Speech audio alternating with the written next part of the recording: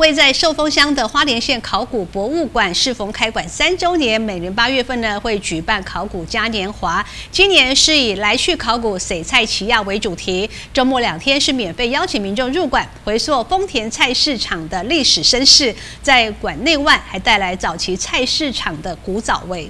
位在花莲县寿丰乡的花莲县考古博物馆，今年适逢开馆三周年，每年八月固定举办的考古嘉年华第三届。周末两天也来去考古馆写菜吉亚为主题，以免费入场方式邀请民众一同回溯馆舍前身丰田菜市场的历史。我们考古博物馆其实是由那个丰田市场改建的，那我们就是呃去用这样子的菜市场的概念，然后我们就邀邀邀邀请我们的那个呃花莲地地区的那种呃手所做的创意工作者来我们考古博物馆摆摊，然后总共有。二二二十六个摊位，然后分布在我们的一二楼的那个展场。那我们这两天其实是免费入馆的。那我我们的目目标其实是希望说，我们的呃社，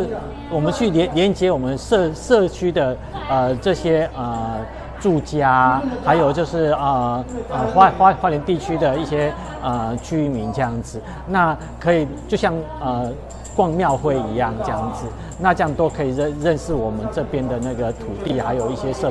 社社区的风貌。考古馆地址为寿丰乡市场一号，前身为民国七十三年新建的公有菜市场，几经活化，成为国内首建旧有空间转型为博物馆的先例。结合市集、餐车以及 DIY 体验等活动和演出，这次考古嘉年华以强化社区链接、建立社群共感为目标。除了重现早年丰田菜市场热闹景象，也期盼让考古馆更深根在丰田社区和民众的心里。